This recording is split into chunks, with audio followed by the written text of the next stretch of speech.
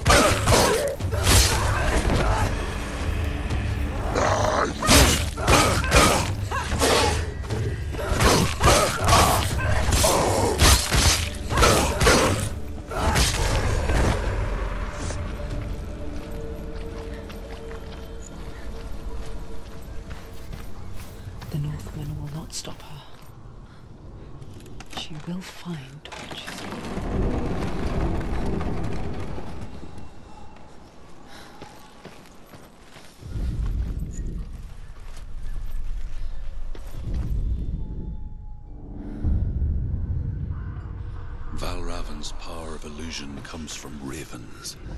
Align the ravens to break his magic seal. Show me what you have seen, Truth. Look how much it's changed.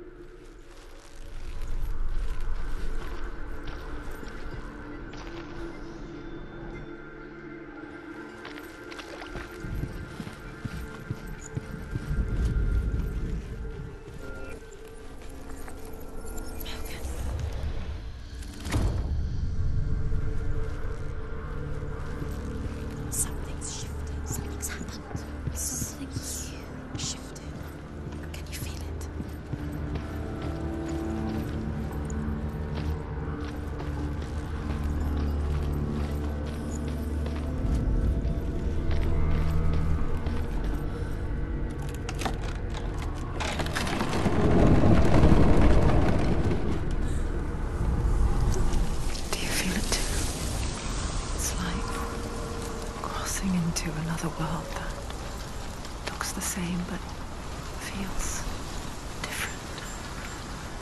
An imposter world where the forest itself is watching. Another gate.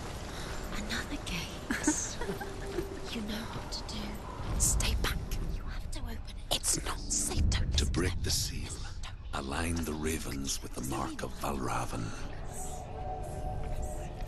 Where are they? Do Where are they? What does it mean? Line up the ravens. Which ravens? Where are they? Can't Where you the see them? She can't see. Them. Look around. Look around. Try to find. Line up the ravens.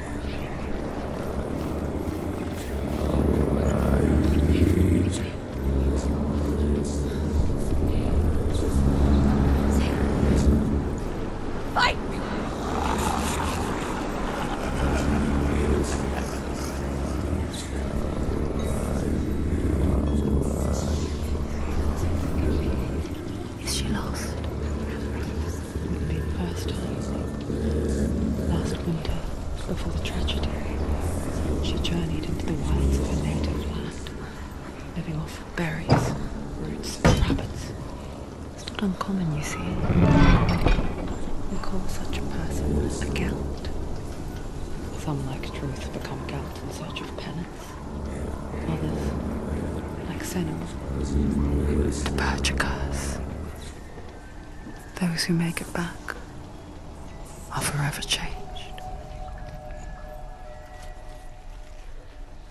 She can get up now. She can get up now. What's happening? She can get up now. How can she get out? Must be magic. Dark magic. A trick. Valravn oh, tricking her. Raven. How can she get up? Bait. It's him. Dark magic draws her closer.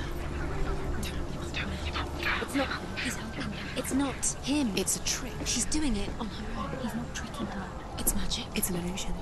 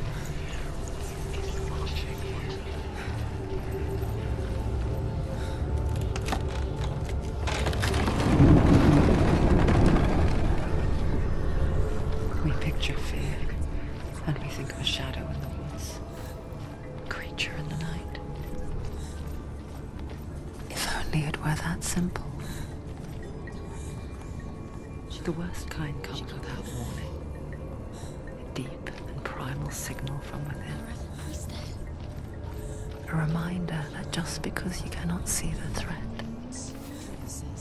it doesn't mean that it's not already here.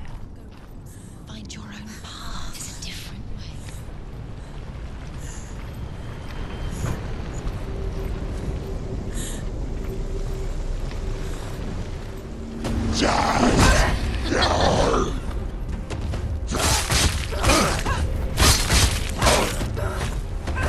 Take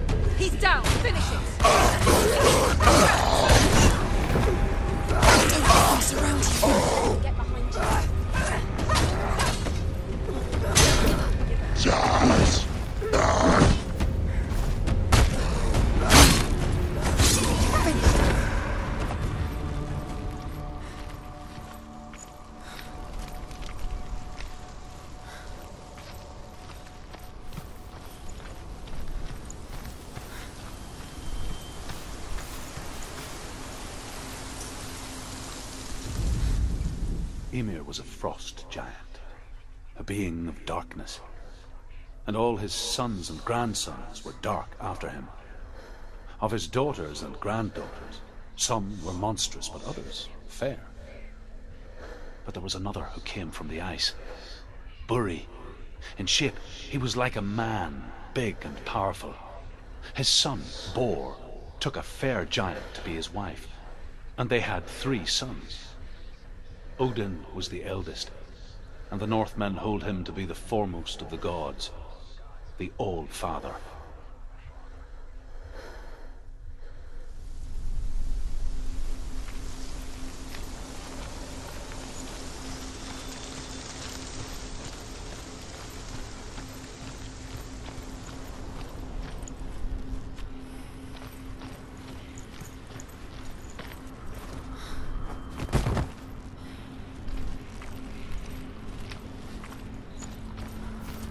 Do you know what it's like to leave everything behind? Your home, loved ones, to head deep into the wilds, perhaps never to return. Senua does. Because when darkness speaks, it changes everything. Turning home into a foreign land and loved ones into strangers. Exile makes sense when you realize that you were never really home in the first place.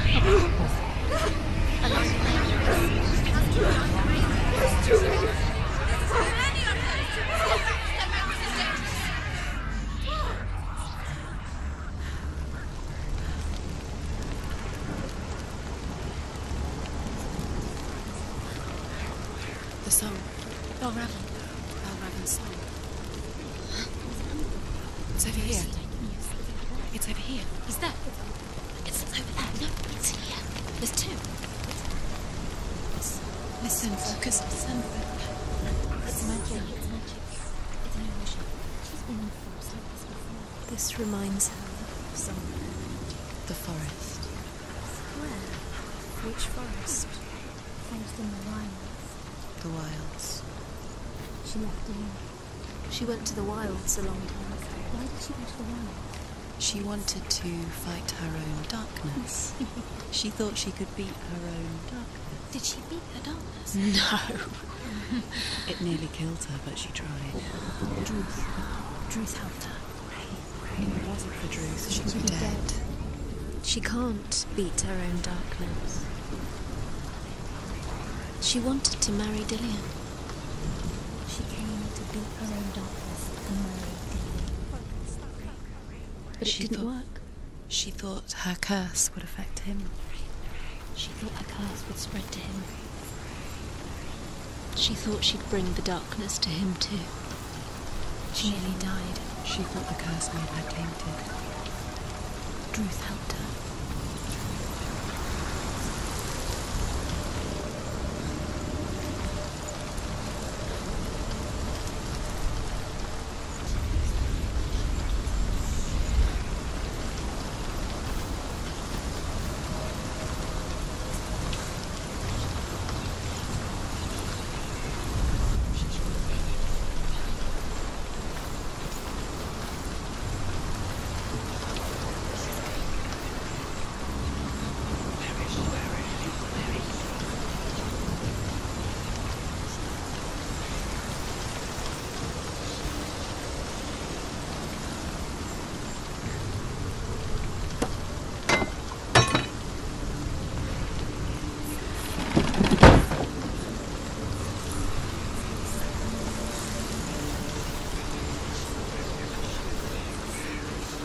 Open it.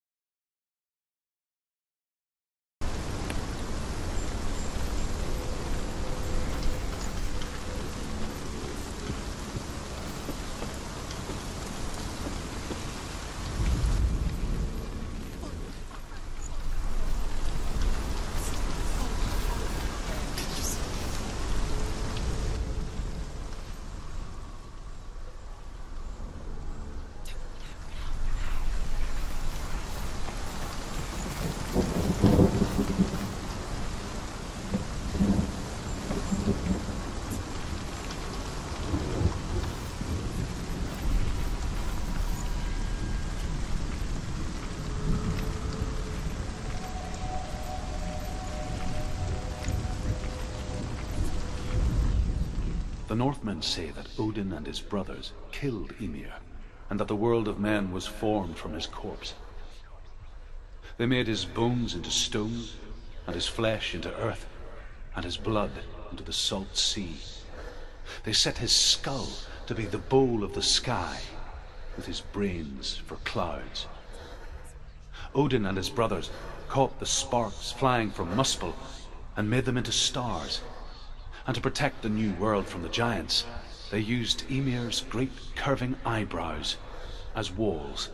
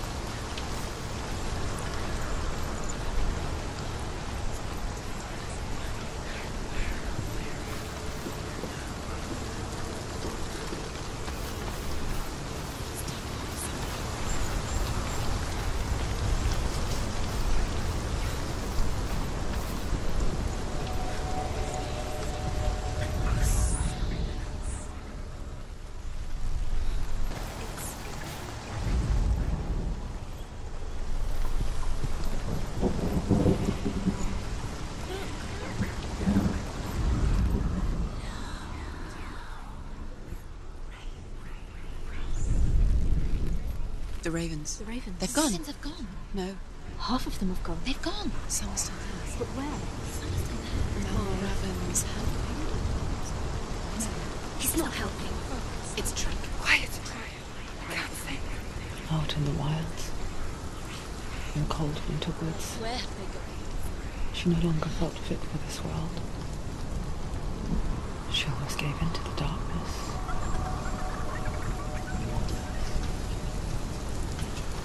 She remembered Dillion's words. She remembered her promise.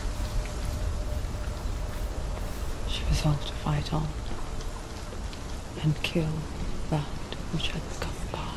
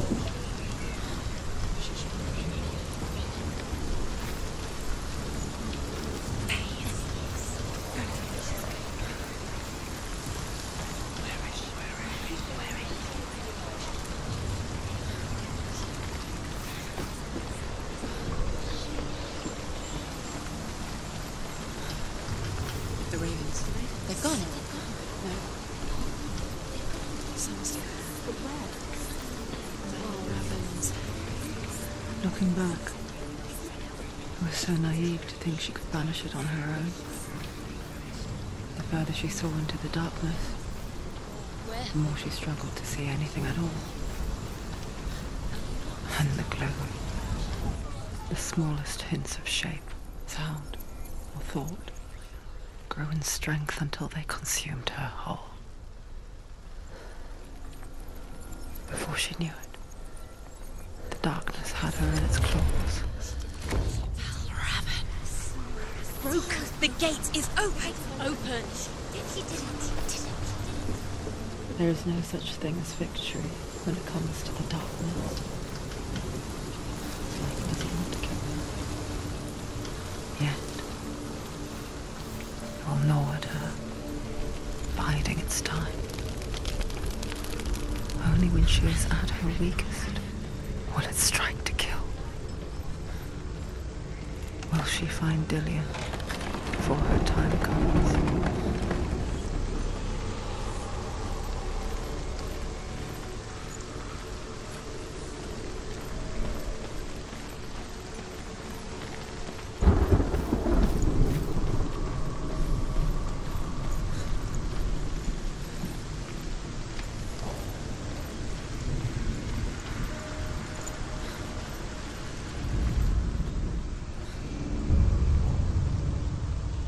Overcome Valravn's final illusion to face him in his keep. I know you can do it, Senua. You have the sight. We both see the darkness. We can fight it together.